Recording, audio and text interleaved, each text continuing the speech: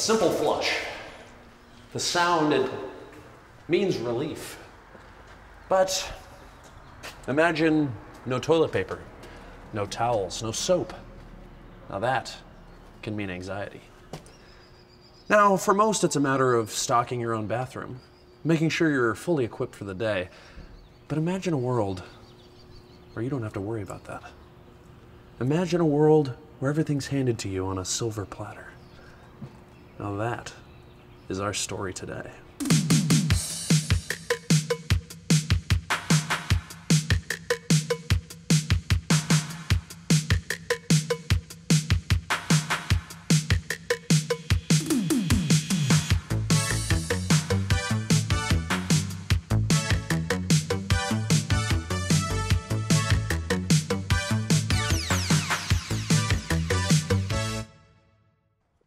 Today, we are in Los Angeles, California. Kennedy, hello. David? Yes. David, How are you? pleasure to meet you. Very nice to meet you. Thanks for having us. hello. Come to the back. Our story is about David Foster. He's originally from North Dakota and has one of the more interesting jobs in the workforce. It's no, no good. You know, actually, is there, um, I don't know if it's gonna work in here, to be honest with you. Do you have another spot that we could go to? But don't you want the display? Um, we'll, we, we'll come back to that. Do you, where, do, you- could we move into the living room maybe? Uh, my name is David Foster, and I am a bathroom attendant in the Los Angeles region. You just gonna stand here the whole time? If if you want me to leave? David is one of the region's premier bathroom attendants. This style of urinal was developed in the 60s. I think it was in 1962. Name a bathroom, and he's attended it. Looks like I got some extra work to do. I like to say when you walk into a bathroom that I am working in, it is like a jubilee. of Colors, toiletries, and excitement. But the work is fun, you know, and you make some really good friends doing it. I worked with David Foster for about five years as a bathroom attendant uh, at various bars throughout Hollywood. I hired David on and off. I've I've been hiring for a while. Yeah, we do you know events like all around the whole city and stuff. Man, you're, you're awesome, brother. Thank you. Thank you for one extra mile. I like to consider myself not an elitist of the brand of, of attendants, but I take my job very seriously. This is it? This is it. Wow. Yeah. David takes his job so serious, in fact, that he has his own layout set up for us in his home bathroom. After hearing some firsthand testimony, I decided I'd do a little demo with him. Good afternoon, sir. Good afternoon. Oh, let me get that for you. Thank you so much. Okay. Oh, ah, ah, a little sprinkle here. Thank you. Ah, ah, Ah, What is, what is this over here? This. Oh! This is a little bit of um, an uh, aperitif for when people come into the bathroom. Uh, some German potato salad, uh, smoked oysters in a cottonseed oil, and Vienna sausages. He's got the best surf and turf that they ever serve at like any of these events, and he's, he's really good. Cheers. Cheers to you. I'd have more, but I want the rest of the crew to get some. David prides himself on creating an atmosphere of relaxation, cleanliness, and friendship. What does that smell? It's Oh, that's almond with a little bit of burgundy. Oh, wow. I wanted the everyday man to feel like every time they walk into a bathroom, it's like walking into Xanadu, a paradise. Going to the bathroom should be an overwhelmingly positive experience because you go in there and you always lose a part of yourself, and you should leave gaining something back. At your discretion, sir. Okay. Um, I hope it has been a pleasant day. uh, it, it, it really has. Thank you so much. Thank you very much, sir. You have a have a wonderful evening. You enjoy the rest of your life. Thank you. Wow. That was very good. I don't really remember, f- what is it about, from 2003 to 2005. It was kind of a blur. You know, could have been a combination of, you know, the uh, ammonia and bleach. After you floated around for a bit in Los Angeles, searching for the right job, you finally hit the jackpot, is what you call it. The Beverly Hilton, yes. I had come so far, and for an attendant to get hired there, that's the dream. Can't get in the front because of the strict paparazzi laws. This was it, you know. That. It was my dream. This is my wife, Jody. She wanted me uh, to have job security. And uh, since I got hired at the very prestigious Beverly Hilton, um, I dreamed it was the greatest job I've ever had. And um, I was one in a million to say that I made it. David's dream job was suddenly taken away from him, something that shook him to his very foundation. Can you, can you tell us what happened? It was a private matter, really. Um, I did something because I thought it could save my marriage. Um, it was a mistake, and I am very embarrassed about it.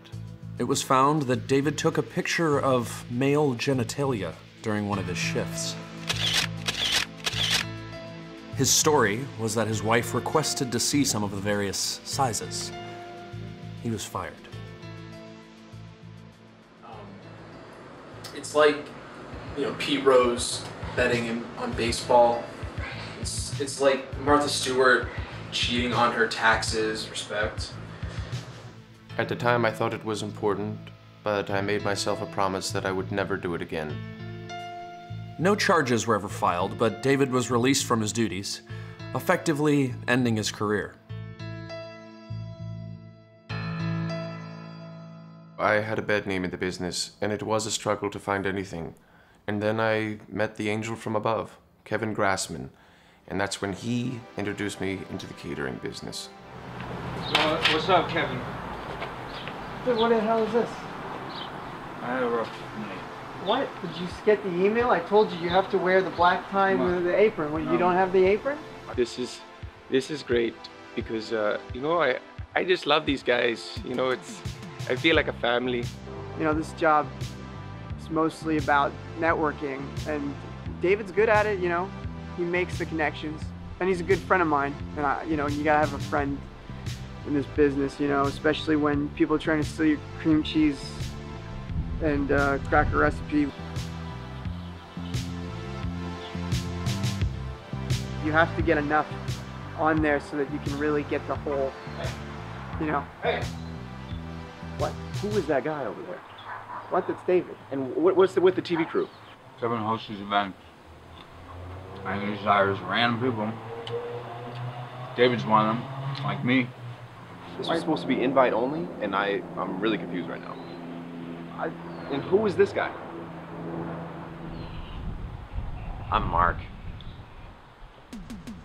It's celebrations like this. It just brings, you know, brings joy.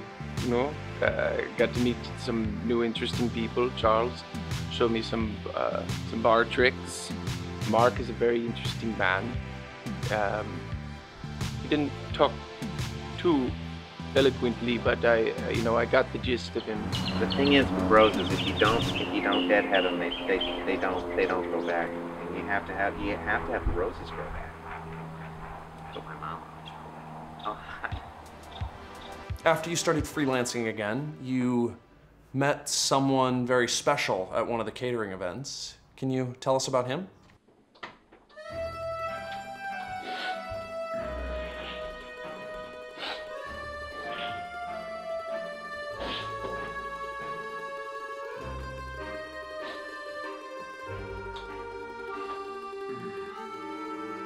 Yes, I was at a film producer's house, and uh, I met Vincenzo Vespucci. He likes to go by the name Uncle. I met David uh, at a premiere of mine. Now I'm a I'm a producer. and I had a film called Skinny Cats 5 coming out. It was just a dark time in my life. I was having a lot of stress and I forgot to take my Metamucil and my fiber that day. I do a lot of fiber therapy. I was struggling, I'll be honest. Uh, I couldn't get it. I couldn't get a good push going. And that point, I heard him struggling, and it's when I uh, took the initiative to use my meditational practices.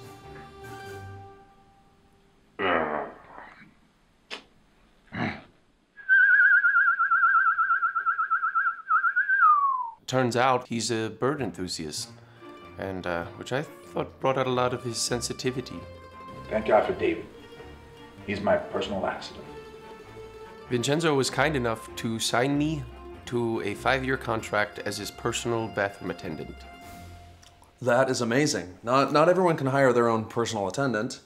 Um, how do guys like Vincenzo hire someone like you? What do, what do they have to do? I'm the money man. I'm the guy with the money. I'm the guy they come to for the for the films.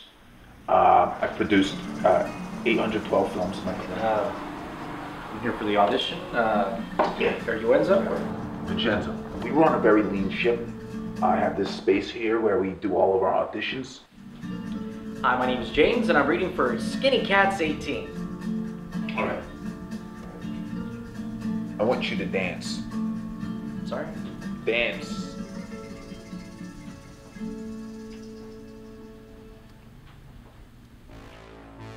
But even after David found himself hired by Vincenzo and back with a steady job, he knew he still had unfinished business left. Ever since his dismissal from the Beverly Hilton, David's been trying to take his fight for representation to the streets. Well, I'm still fighting for the sanitation department to implement a sanitation union. Um, for the fear that what happened to me could happen to others if they're unprotected. I'm uh, standing here right in front of the uh, um, Los Angeles uh, Sanitation Department.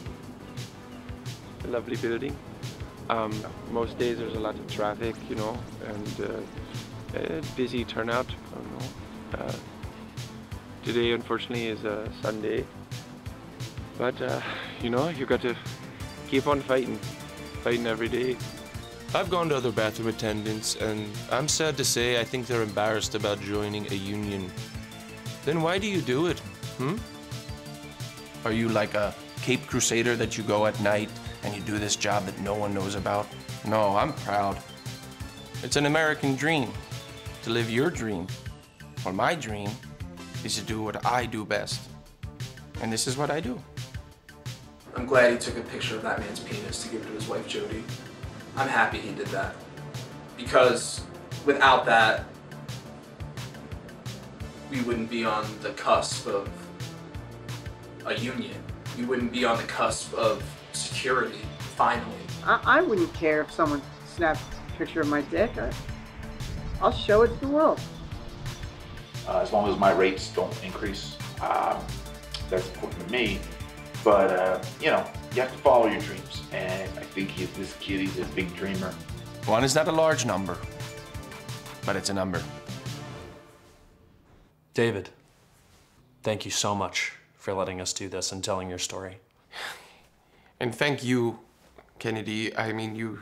Thank you for bringing my story into the light. The pleasure is all mine.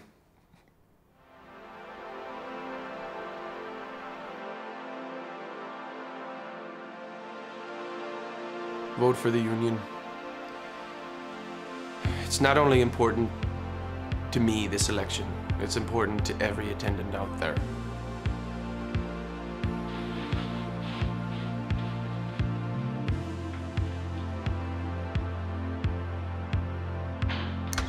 Now, David will be doing speeches all over, so keep a lookout.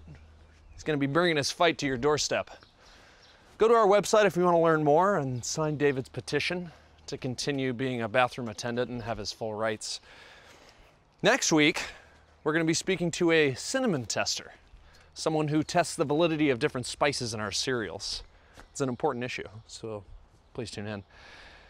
For now, I'm Kennedy St. Cloud, and remember, guys, keep your head in the clouds.